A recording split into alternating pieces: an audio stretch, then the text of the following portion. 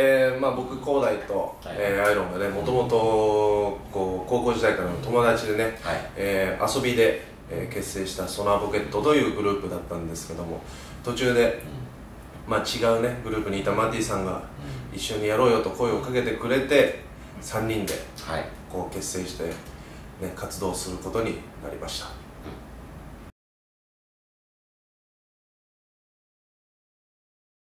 はいまあソナーポケットのね、えーソナーポケット、はい。このグループ名の由来はですね、えーソナーね、これアイロン君が出した言葉、うん。ポケットこれ僕が出した言葉、2人でね1ワードずつ、えー出してね、えー作った言葉なんですけども、まあ、ポケットというのは、まあ、いろんな服にありますけども、こうすぐ取り出せるようなそんな音楽を作りたいなと思ってうん。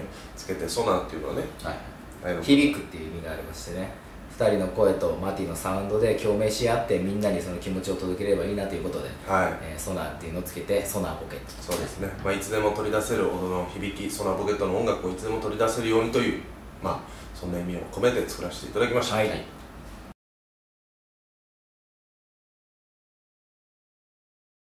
ちなみに、はい。あのーソナーポケットのスーパーベストでおのおの好きな曲があれば、マティさんえー、まあやっぱデビュー曲のプロミスですかね。プロミス。思い入れ深いですね。はい。はプロミスですねデビュー曲。はいじゃあアイロン君。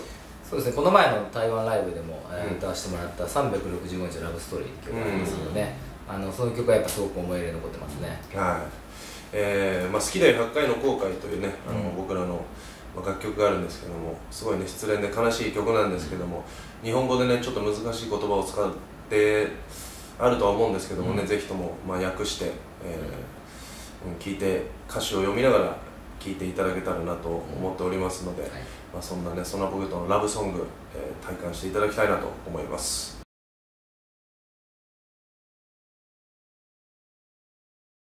えーまあ、3人ね、うん。えーそれぞれ、まあ、恋愛というものをね年とともに、まあ、重ねてきたんですけどもその中でね、えーまあ、このラブソングに対して嘘をつかずにね自分たちの経験からこう楽曲を作っているということで、うん。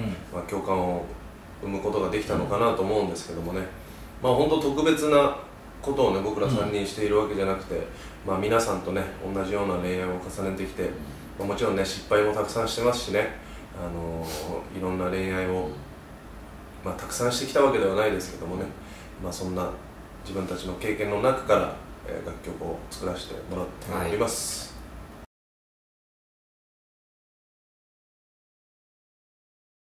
我々ソナーポケットですねデビュー6周年を、はい。えー迎えることができたんですけども、うん。メンバーそれぞれなんか挑戦したいことありますか？挑戦ですか？はい。なんかこう仕事というかまあ音楽以外で、はい。やっぱりちょっとゴルフなんかやりたいなと思いましたね、うん。はい。ちょっと挑戦したいうん。そうですね。まあこの前も台湾でライブさせてもらったんですけど、うん。まあ、台湾しかり、うあのーまあアジアでねうん。またライブができるように3人で頑張っていきたいなと思ってますねそうですね、まあ、台湾でライブさせてもらって、僕もそうですけど台湾でのワンマンライブっていうのをまあ目標に頑張っていきたいなと思いましたので、ね。えーぜひともね台湾の皆さんねソナーポケットを応援してぜひとも台湾ワンマンライブ、はい。えーね、ぜひとも実現に向けて、えー一緒になって頑張っていきたいなと思っております。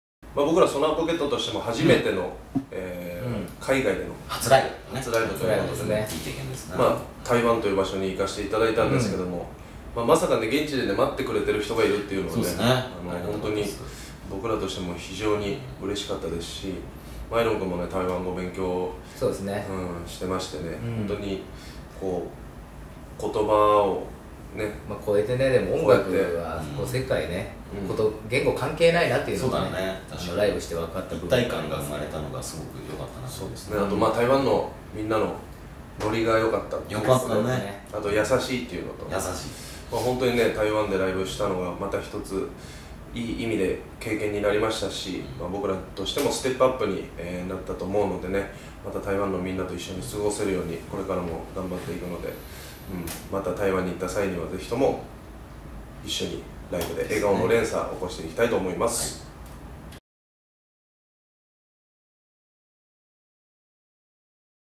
まあ、僕ら2泊3日だったんですけども、そうですね。はい。印象に残ったことありますか？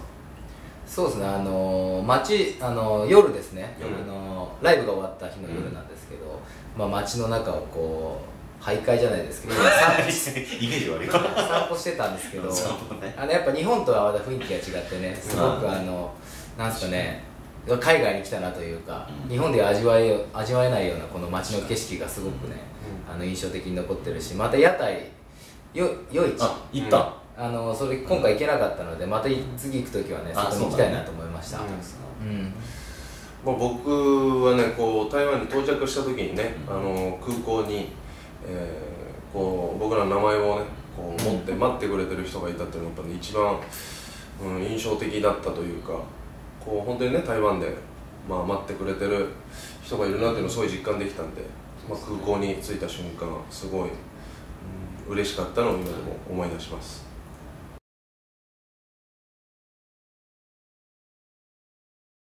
まあ、今後ですね、まあ、僕らソナロケット、えーもう本当台湾でワンマンライブするのも一つの目標ですしね、はい。またこう日本でも活動しながらアジアというところにねあの目を向けながら、うん。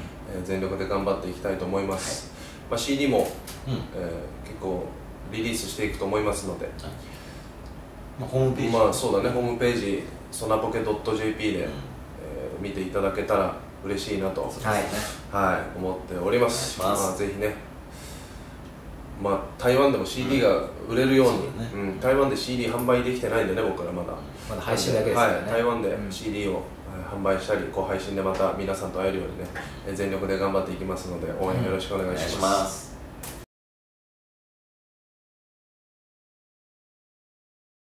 えー最後に台湾の皆さんにアイロン君からまたですか？メッセージをおはい願いします。我们爱大家，我们爱台湾，明年再见，拜拜。バイバイバイバイ